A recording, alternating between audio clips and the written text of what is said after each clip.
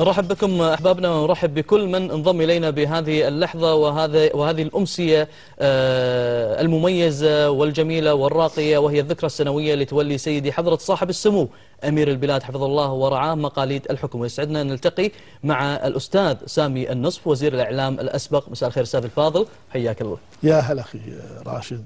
إن شاء الله يعني إحنا جميعا قاعدين نحتفل هذه الأيام بالذكرى الحادية عشرة ومعها اتصالا لذكرى التحرير وذكرى الاستقلال. نعم. حياك الله أستاذ سامي معنا في فدانا.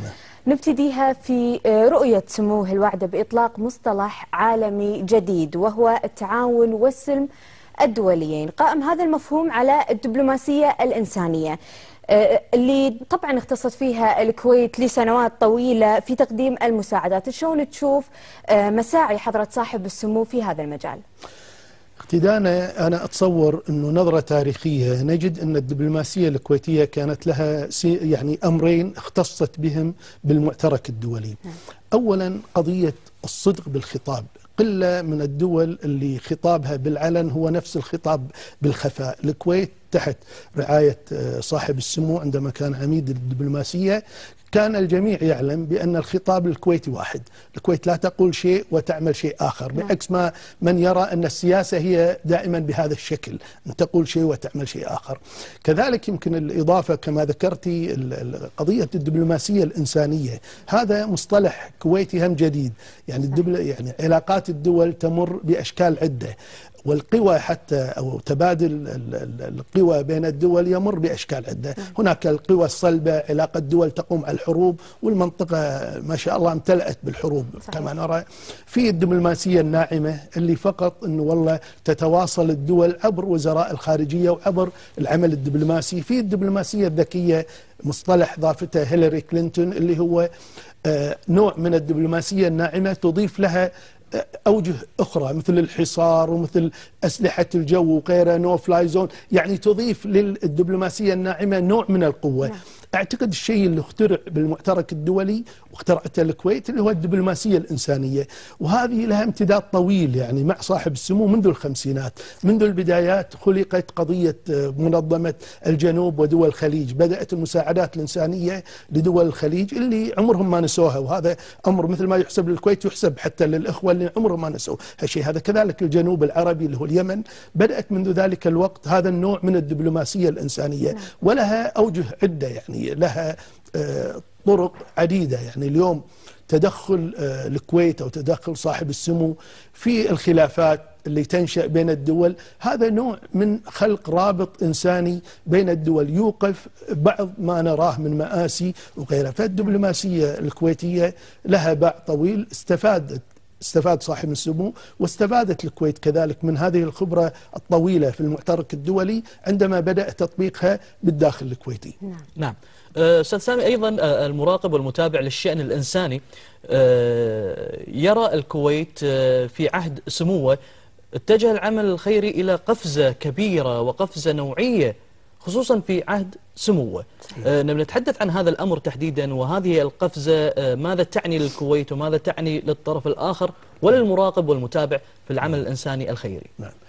خلينا نبدأ أخي راشد بحقيقة أن صاحب السمو هو يعكس أمر متجذر بالشعب الكويتي، الشعب الكويتي شعب جبل على أعمال الخير، بل الكويت يمكن من الدول اللي حتى عندما كانت مدقعة الفقر ما شاهدنا إنسان يبات بالشارع ولا سمعنا عن إنسان توفى يعني من الجوع، وبالتالي الشعب الكويتي جبل على هذه الأمور وحتى عندما حدثت السنة اللي يسمونها سنة الهيلق أو غيرها اللي حدث بها مجاعات ضخمة. صحيح. قام آه، رجال الكويت مثل آه، أبناء معرفي وأبناء الصبيح فتحوا المخازن وهذا الأمر شاهدناه حتى بالقزو مع أبناء الوزان وغيره وبالتالي صاحب السمو يعكس ضمن سياسته هذه القضية. الآن دفع هذا الأمر إلى يعني آه، آفاق جديدة بالقمم الإنسانية اللي تمت عندنا، ثلاث قمم مثل ما ذكر الزميل الأخ مهند آه، اللي عقدت بالكويت آه، في شهر مايو كذلك عقدت القمة قمة اول قمة إنسانية بإسطنبول ألقى خطاب فيها صاحب نعم. السمو لربما وجه الأمور إلى آه، زاويتها الصحيحة أنه لا يكفي أنه فقط ندعم إنسانيا اللاجئين قبلها يجب أن نساهم بحل المشكلة ولربما هذا الفارق بين سياسة الكويت وبين سياسات نسمع بها هذه الأيام من بعض الدول الكبرى اللي تقول والله لنوفر الملاجئ لمثلا اللاجئين السوريين نعم. ونفرض على دول الخليج آه، دعمهم وتمويلهم هذا آه، يعني أمر جرب نعم هذا لأن أنت أنت فقط قاعد تعالج أعراض المرض لا تعالج المرض نعم. هذا جرب بالقضية الفلسطينية قبل 60 عام صحيح. ذهبوا للملاجئ على بنا يوم ويومين وقعدوا إلى الآن وبالتالي هذا مو حل الحل كما ذكر سموه بشهر مايو في قمة إسطنبول اولا خلونا نبحث عن حل لهذه المشاكل نعم. أثناء هذا البحث وأثناء الذهاب لحل القضايا هذه عبر التوسط وغيره نقوم برعاية اللاجئين. إنما مو حل دائم قضية أن نبقيهم بالملاجئ لا دراسة لا صحة لا تنمية يعني دول مدمرة. وبالتالي أنا أتصور أنه هذه الفلسفة اللي على المجتمع الدولي كذلك أن يأخذ بها. حل المشاكل أو في طريق أنت تساهم بحل المشاكل وفي طريق ترعى القضايا إذا هذه القفزة هي القفزة الخيرية في دولة الكويت. تمام. هي منطقية ومبررة و تماما. نؤكد عليها. تماما تماما. يعني هذا مثل ما ذكرنا هي جزء من التراث الإنساني الكويتي. نعم. الآن زاد إلى آفاق جديدة. وصلت إلى أن المجتمع الدولي ممثل بالأمين العام السابق آه، أرسل الرسائل وأطلق قضية أمير الإنسانية وأن الكويت بلد مركز. العمل الإنساني. نعم. أعتقد هذه تأخذنا إلى آفاق جديدة.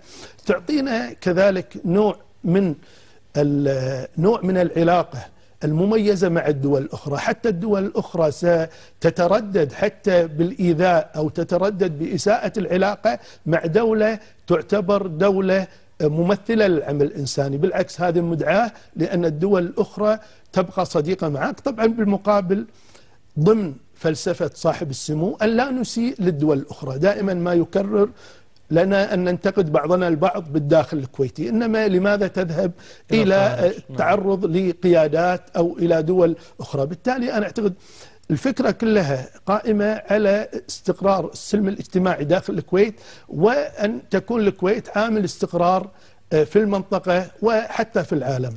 نعم. آه، أستاذي أيضا هذا يبنى على موضوع أن سموه يعتبر رجل المهام الصعبة، شكل له أدوار جدا ناجحة بالوساطة بين عدد من الدول المتنازعة، إلى أن أصبحت هذه الوساطة من أهم الخصائص اللي تميز فيها سياسة الكويت الخارجية، كلمنا عن هذا الموضوع. يعني اليوم أحد الصحف وضعت مانشيت بناء على الوساطة اللي الحين قائمة بين الكويت، الكويت تقوم بها بين إيران ودول مجلس التعاون. اليوم المانشيت لأحد الصحف أن المرشد والقيادة الإيرانية نعم. دفعت الحكومة الإيرانية للتجاوب بشكل إيجابي مع الوساطة الكويتية. الوساطة الكويتية كذلك قائمة بين المملكة العربية السعودية ومصر. ولربما هذا يرجع بنا إلى الستينيات. عندما تقلد سموه وزارة الخارجية كان له دور آنذاك في محاولة الصلح بين مصر الناصرية نعم. والمملكة العربية السعودية ضمن الخلاف البارد والساخن باليمن استضافت الكويت اليمنيين الجمهوريين والملكيين ثم ال ال ال اليمنيين الشماليين والجنوبيين بال 72 نعم. وكذلك الخلاف العماني اليمني الجنوبي بالثمانين والحرب الأهلية اللبنانية كان هناك تدخلات دائمة للكويت ولصاحب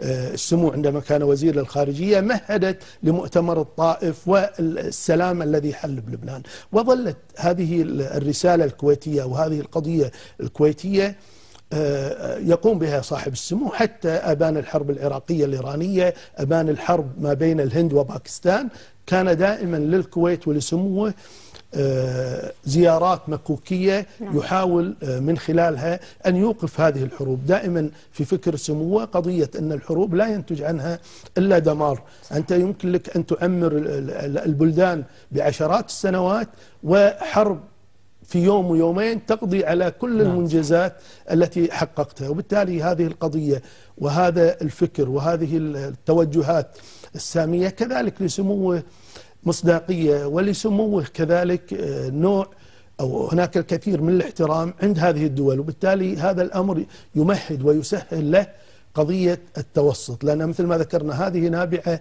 من فلسفة السياسة الخارجية الصادقة. أن ما يكون عندك خطابين بالتالي تحترمك الدول لأن تعرف ما تسمعه هو الواقع هو الحقيقة. جميل.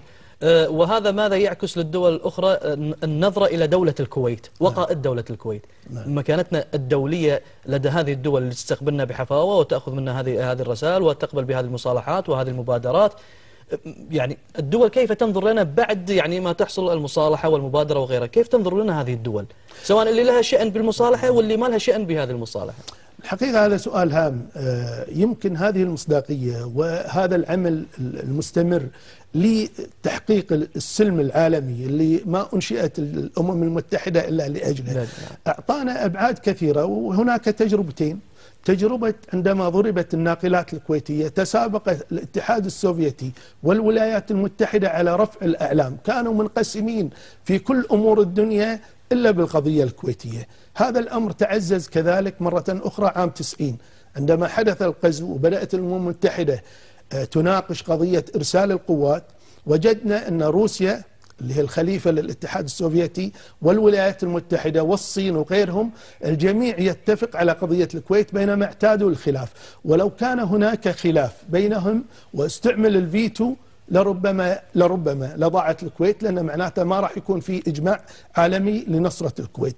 من ثم هذه السياسة المعتدلة، السياسة الصادقة أعتقد أنه انعكست بأشكال عديدة كما ذكرنا النفط ترى ما كانت قضية سهلة، نحن بلد 90% من آه، إنتاجنا أو معيشتنا قائمة على ننتج نفط ونبيعه، صحيح. إذا ضربت الناقلات اختنقت أنت، فتطوع الاتحاد السوفيتي بدءا ثم الولايات المتحدة على رفع الأعلام هذه كانت يعني أشبه بقبلة حياة للكويت وبعد ذلك حمت امتدت للدول الخليجية الأخرى نعم. الحال كذلك النظام العالمي الجديد اللي خرج من عام 90 أحداث عام 90 وأن بدأت القوى الكبرى تتفق بدلا من المناكفة وأن دولة تكون معاك ودولة تكون ضدك نعم. بالتالي هذا الأمر لا يحل إشكالات لربما الإشكالات القائمة الآن بالمنطقة قريبة عدم حلها قريب من هذا المنطق إنه في هناك مع وهناك ضد وعمرك أو من الصعوبة بمكان إنك تجمع الطرفين حتى يتوحد القرار اتجاه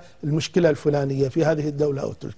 صحيح. أستاذ سامي إحنا مستمرين معاك في حوارنا وفي هذه الحلقة المميزة لكن مشاهدينا نروح الفاصل ورادين. رجعنا لكم مشاهدينا ومستمرين مع ضيفنا الأستاذ سامي النصف وزير الإعلام الأسبق. أهلا وسهلا فيك أستاذي. أهلا دانا. آه، أستاذ الفاضل أيضا من ضمن المبادرات لدولة الكويت. نتحدث عن المبادرة الأخيرة. آه، هي مبادرات عديدة متنوعه لكن هذه المبادرة لاهميتها الأمانة وحساسيتها على المستوى الإقليمي واحد. اثنين أيضا المتابع سواء للشأن السياسي والغير متابع للشأن السياسي على مستوى المواطن والمواطن. الكل مهتم في حل هذه القضية وهي القضية اليمنية. عندما تم آه، استدعائهم إلى دولة الكويت واستضافتهم بدولة الكويت وحراك دولة الكويت في هذا الاتجاه إلى الصلح. أريد أن نسلط الضوء على هذه النقطة وماذا حدث بالضبط هل الكويت لم تستطع أم الكويت توقفت عن الاستكمال هذا الأمر؟ ما الذي حدث بهذا الموضوع تحديدا وموقف الكويت اتجاه هذه القضية؟ يعني شوف إذا حطيناها في scale من واحد لعشرة آه، الكويت قامت بما عليها عشرة من عشرة. الآن العتب حقيقة على الإخوة اليمنيين الكويت ما هي سويسرا أو بلد بعيدة عن الشأن اليمني ما عملت شيء لليمن. الكويت لها دلالات كبرى على اليمن. الكويت منذ الخمسينات وهي تدعم ذكرنا منذ قليل منظمة الجن... دعم الجنوب العربي وغيره وحتى اليمن الشمالي آنذاك. دائما كانت الكويت الداعمة الأولى لليمن. عملت الجامعات المستشفيات عملت كل شيء. وحتى آبان الخلاف اليمني اليمني كان المتوسط الأول أو الوسيط الأول هو الكويت. أنا أذكر تماما حتى في مجال الطيران كان صاحب السمو كوزير خارجية يذهب لليمن يحاول أن يصلحهم يرجع الكويت نحضر له طيارة ثانية يروح باريس لدعم القضية الفلسطينية. وبالتالي عندما دعت الكويت الإخوة اليمنيين أنا افتكرت أنا شخصيا وأعتقد كثيرين بأن اليمنيين تقديرا لدور الكويت التاريخي آه، سيحضروا أنفسهم للتوقيع فقط على الاتفاقية اللي بالنهاية تفيد اليمن. نعم. بالنهاية اليمن اللي قاعد يدمر الدم المسفوك دم يمني. اليوم أرقام الأمم المتحدة تقول أن 80% من الشعب اليمني بسبب الحرب يحتاج إلى المعونة الإنسانية. وبالتالي عندما قدموا للكويت كنا نعتقد أن الجماعة كل في فيما يخص كل طرف راح يعطي ما يسمى بالكونسيشنز التنازل حتى يصلوا إلى منتصف الطريق. تنتهي الحرب تبدأ عملية الإصلاح السياسي وخاصة أن خارطة الطريق واضحة المعالم في قرارات للحوار الوطني ومخرجاته للبادرة الخليجية للأمم المتحدة وغيره وبالتالي اعتقدنا أن هذه المرة سيأتوا نعم. وسيتفقوا ويشكروا الكويت بطريقة يعني غير مباشرة أو مباشرة على دورها التاريخي في نعم. دعم اليمن نعم. حصل ما حصل الكويت ما قص يعني ما قصرت بشيء ولا نستطيع أن نرقم طرف على أن يقوم بشيء عكس إرادته لأنه هذا النهج وهذه الطريقة لم تعتادها الكويت وبعدين لا لا تؤدي إلى شيء. ما راح يرجع هناك ولن يلتزم بما أجبر على على نعم. توقيعه. بالتالي أعطيناهم الفرصة حتى المدة يعني أعطينا فرصة طويلة جدا بالمدة حتى يستطيع الواحد أن يذهب ويرجع ويصل إلى منتصف الطريق مع أخيه العادة مثل هذه المبادرات لا تأخذ مثل هذه المدة الطويلة ولا تأخذ حتى آه. جزء من هذه المدة بالعكس آه. عادة يعطون يومين أو ثلاثة ينتهي الأمر بما ينتهي الكويت مدت ومدت ومدت وكان الأمل المرتجى من الإخوة باليمن أن ينهوا إشكالهم بالكويت بناء على هذه العلاقة التاريخية وهذه المرة الأولى والوحيدة لربما اللي ترك المجال لليمن لترد الأعمال الجميلة اللي قامت لا منا بس هذه حقيقة. كنا نعم. ودائما داعمين لليمن وتوقعنا أنه لما جت الكويت واستضافت الطرفين قالوا والله لن نخيب أمل الكويت. وبالنهاية المصلحة لليمن. نعم. إلى متى سيستمر تستمر الخلاف والحرب وغيره ما بقى حجر فوق حجر الآن باليمن. من أين سيؤتى بالأعمال والتعمير وغيره؟ وبالتالي إذا كان هناك خطأ لم تكن لم يكن خطأ كويتي بالمطلق ولا حتى صفر من عشرة. الخطأ للأخوة الذين تشددوا. أنا لن ألقي باللائمة على هذا أو ذاك. أي طرف تشدد هو أتى للكويت وهو يعلم أنه سيخرب البادرة الكويتية. أعتقد عتبنا عليه كبير. نعم. أه، أستاذي ننتقل إلى موضوع آخر وهو طموح سموه في رؤية مستقبل الكويت وعودتها إلى رونقها وعودتها إلى لقب عروس الخليج. دائما ما يبذل سموه الجهد أه، في أه، للوطن وراحة المواطن. شلون تشوف الكويت حاليا في عهد سمو أمير الإنسانية؟ والله صاحب السمو يعني تقدم ببادرات عديدة. حتى يمكن للكويت أن تلحق بالركب. أنا يعني مو بالضرورة نرجع إلى أمر. إحنا نريد ما كنا عليه كنا عليه. الآن نتكلم عن المستقبل يعني نعم. ونسعد جدا بما حققه الأشقاء. وبالتالي إحنا لا إحنا في موقع منافسة نعم. ولا مقارنة. إنما الكويت بالفعل آه، كانت هناك بادرات عديدة من البدايات زيارة سموة أنا كنت أحد المرافقين معه إلى الشرق الأقصى والاستفادة من التجربة السنغافورية والكورية واليابانية وغيرها نعم. وكان معنا للمرة الأولى قطاع كبير من القطاع الخاص حتى يمكن الاستفادة لأن يعني ضمن توجهات سموه دائما دعم القطاع الخاص لا يمكن للحكومة أن تبقى الدولة الراعية من المهد إلى اللحد صحيح. هذا الأمر لربما يعني حتى العالم بأكمله تعدى هذه المرحلة مع سقوط الاتحاد السوفيتي والدولة الراعية لكل شيء اللي هو النظام الاشتراكي والشيوعي هذا قضية يعني عفى عنها التاريخ وبالتالي نعم. هناك رغبة بالانفتاح والتحول إلى مركز مالي وتجاري وغيره وأتصور أنه خطوات عديدة آه، قامت بها الكويت في هذا الاتجاه في كثير من الأحيان عندما تكون مقيم في دولة لا تشعر بالتغيير كثر ما يشعر به القادم للدولة. في تغييرات بالبنى الأساسية بالطرق بالشوارع. آه، شاهدنا الملعب جابر الآن المطار سيتغير أمور كثيرة. حتى مركز جابر الأحمد الثقافي نعم. الآن مركز عبد الله السالم الغارب.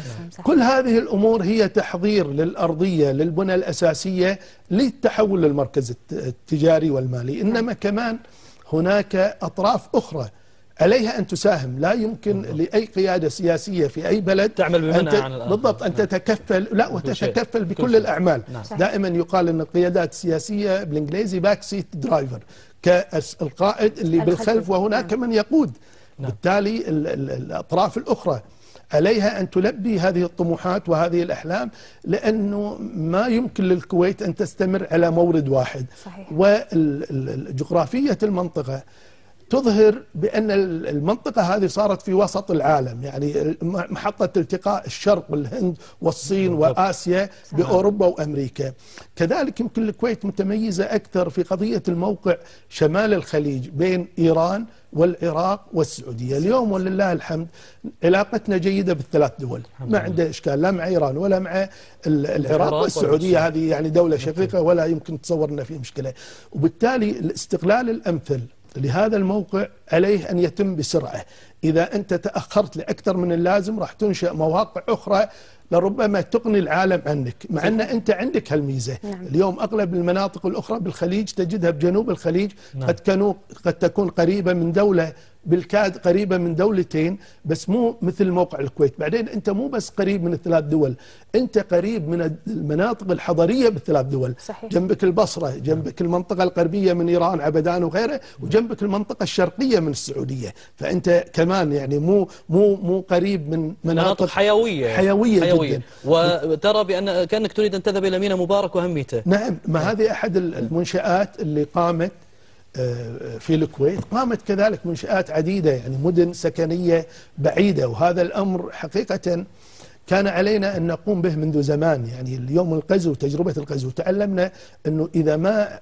استغليت البعد الجغرافي يمكن للعدو أن يصلك في ساعة وساعتين. بينما اليوم عندك مدن نشأت مدينة الشيخ صباح جنب الوفرة مدينة الشيخ جابر مدينة الشيخ سعد وغيرها هذه تعطيك عمق وهذا الأمر الحقيقة موجود حتى بالدول الصديقة صحيح. بالخليج تشوف تحتاج ساعتين على ما تروح صحيح. من منطقة لمنطقة إحنا كنا نص ساعة للجهرة ونص ساعة لأم الهيمان أو نعم. الأحمدي هذا التمدد حدث بالحقبة الماضية كذلك آه، قضية أنه آه، تشجيع الشباب تمكين المرأة كلها هي package كامل. نعم. package كامل ما يمكن أن تتقدم إلا فيه. تحتاج بشكل موازي أن تتطور كذلك بقضايا الشفافية. يعني حتى تأتي الشركات العالمية لبلد يريدون أن يروك في مرحلة متقدمة من الشفافية. لأسباب واضحة. يريدون مثلا قضاء سريع العدالة الناجزة. لأن يقول أنا والله ما أستطيع أدخل البلد والقضايا مثلا تستغرق سنوات طويلة. كل هالمؤشرات هذه تحتاج إلى تحسينها حتى تصل إلى تحقيق هذا الحلم نعم. اللي لا بديل له. نعم. أيضا نريد أن نتحدث ونسلط الضوء على دعم سموه لحقوق المرأة. نعم. في هذا في هذا الاتجاه وفي هذا المنحى كيف ترى سموه ودعما لهذه القضية تحديدا؟ نعم. هذه قضية هامة جدا. المرأة بعد مو نص المجتمع هي أكثر قليل من نص المجتمع. لا يمكن المجتمع ينهض بجناح واحد تحتاج مثل الطائر جناحين. فجناح المرأة كان حقيقة مقيب القضية ليست جزئية صغيرة اللي الحق السياسي. الحق السياسي يتبعه أمور عديدة. فبالتالي سموه بعد ما وصل لرئاسة الوزراء بال 2003 عمل جاهدا حتى تحقق مطلب إعطاء المرأة حقوقها السياسية اللي يتبعها الحقوق الاجتماعية وغيرها. بال 2006 كذلك وصلت للمجلس أربع نساء أربع حتى دكاترة من النساء. وبالتالي تحقق هذا الأمر. الآن الاستمرارية فيه يتبع أمور عدة منها آه، ما أنجزته النساء إحساسهم بالدور التاريخي. نحن التجربة الأولى. هناك أعداء يودوا أن يعكسوا إخفاق المجلس بأكمله اللي هو الخمسين عضو على الأربع. وبالتالي البعض تجاوب مع هذه النظرة وكان دورهم حقيقة مشرف. البعض لربما فاتته هذه الجزئية واستقل نقده لنقد التجربة نعم. وبالتالي جينا بالمرة اللاحقة ما شفنا إلا عدد محدود إنما بقيت نظرة سموه بالتمثيل الحكومي حتى هذه اللحظة بالوزارة في نعم. نساء نعم. عمرها ما توقفت قضية وجود النساء بل أتت يعني كثير من التشريعات كثير حتى من المناصب العليا بالدولة الآن نرى وكيلات وكيلات مساعدات بالضبط. كلهم نعم. نساء وبالتالي هذا أعتقد جزء من النهضة الكويتية لا يمكن للكويت أن تنهض والنساء مقموعات وهذا الجناح يعني مكسور ونتوقع من الدولة أن تنهض. نعم. آه، أستاذي هذا آه، طبعا يؤكد أن دعم صاحب السمو للمرأة خلاها توصل إلى هذه المرحلة. الآن نرى المرأة واصلة إلى قيادات مثل ما قلت صارت آه، في مناصب عليا صارت تحقق إنجازات كبيرة تذكر لها ولدولة الكويت ولولا دعم صاحب السمو لما وصلت إلى هذه المرحلة وهذا المقام. استمتعنا في الحديث معك أستاذ سامي. كلمة أخيرة حاب توجهها. والله يعني علينا جميعا أن نعي خطورة المرحلة القادمة. في أشياء يعني مو بيدنا أن أن- يعني أن نعمل أو نحاول أن, أن فقط نحاول أن نخفف منها نعم. يعني في متغيرات بالمنطقة ما تخفى صحيح. وبالتالي أنا أتصور أنه الرسالة أنه بالمرحلة القادمة نحتاج مزيد من الانفراج نحتاج مزيد من الالتفاف حول الكويت نحتاج آه، يعني أن نتمسك بوحدتنا الوطنية آه، كذلك الخطاب اتجاه الآخر علينا أن يعني نسعى دائما لدعم هذا السلم الاجتماعي اللي نتمتع فيه ال- الأمن ترى آه، قضية أقرب للصحة صحيح. لا تشعر بها إلا عندما تفتقد- تفتقدها. إحنا لله الحمد والمنة لدينا الأمن والأمان. علينا أن نحرص عليه وعلينا أن نحل قضايانا بشكل آه، ديمقراطي بشكل الحوار. وأنا أتصور أن إن شاء الله الأمور تذهب إلى ما هو أفضل مستقبلا. إن شاء الله. وزير الإعلام الأسبق الأستاذ سامي نصف. شكرا جزيلا لك. أهلا وسهلا. شكرا. كل شكر لضيفنا الكريم مستمرين معاكم إن شاء الله بعد الفاصل.